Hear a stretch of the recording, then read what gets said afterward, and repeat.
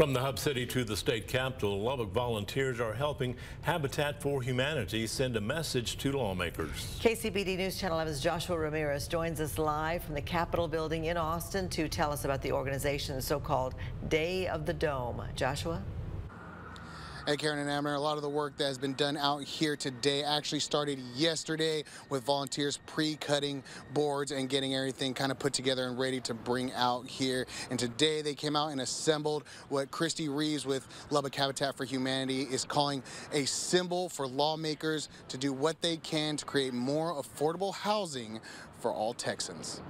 A world where everybody has a decent place to live. That is the vision of Habitat for Humanity and it's simple and it's becoming a reality. With every swing of a hammer and every driven nail, Habitat for Humanity is sending a message. We are always pushing for affordable housing legislation that can really make a difference and get more people a decent place to live.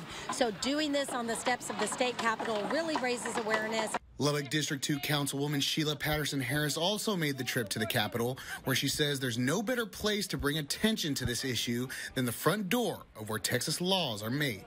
What better way to make that happen than come to the top of the state here in Austin and let folks know that we want to do this so that families can have a decent, affordable home. Yeah. Few are more aware of the issue than Vanessa Lopez Sproul, who received a Habitat home last year. You know, we, we were homeless two years ago, you know, and stuff, but when we got this home built for us, it had made a big difference in our life. Sproul went from living in a vehicle with her family to being a first time homeowner. She says every day she sees the difference it's made for her kids and her grandkids' future. It has changed the girls. My girls are honor roll students. From coming from a vehicle to an honor roll student and having Habitat help us build a home, it's such a beautiful thing and something Sproul says she wants more families to experience. And I'm so blessed to be here, to be here to look at this next family get a home built because I've been there before. I've walked the shoes that they're walking right now. So now it's, you know, the legislation needs to understand we need your help.